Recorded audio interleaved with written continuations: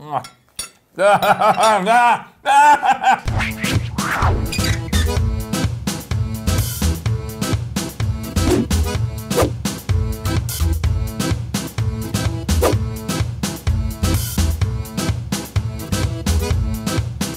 doesn't smell terrible, but it looks weird as hell. It definitely smells kind of coleslaw-y. Oh! Oh, no! It's like fish with purple mayonnaise on top. It tastes like the ocean. I'm into this. It has a very like dirt-like aftertaste, which you know I like dirt. I ate dirt growing up. the Russians go to space. I wonder if they make the astronauts eat that. Shit.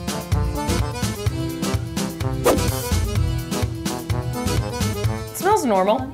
It smells bologna-ish. This is this is the color of the zombies on The Walking Dead. I've never had bologna. Mm-hmm. That's baloney. I'd say this tastes like purchasing a Dell computer. Just no joy. Yeah, it doesn't really taste like anything. I actually like it, to be honest. Natasha, can I have your bologna? No, only if you give me your fish covered in beets.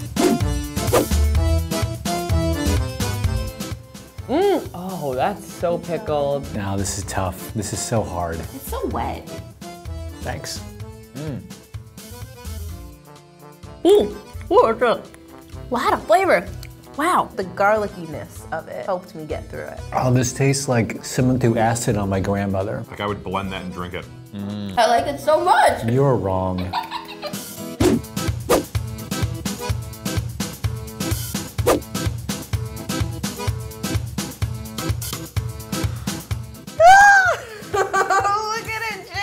The meat smells good, but why? Why? I don't know if I can do this.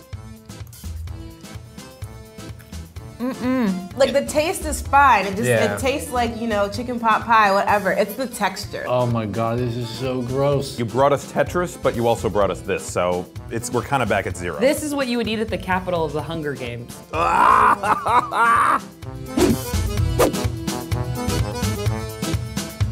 It's uh, raw pig fat. Wait a second. What? This is really, really weird. I'm not getting any smell at all. Why must you do this to me? This has already gone horribly wrong. Oh, oh more grainer. Oh, it's so tough. It's so salty. Oh, you're gonna kill me. I think I'm into it. If I had to choose between the meat jello and this, I would take like 20 of these. as far as meat-related items, this might be the best, maybe. I would say this is probably the best thing that we've had oh, today. Thumbs up, A plus. More pickled tomatoes. We need more pickled tomatoes in our lives. We really do. We get more creative with our pickling in general. I don't know why we don't pickle everything. I love pickling.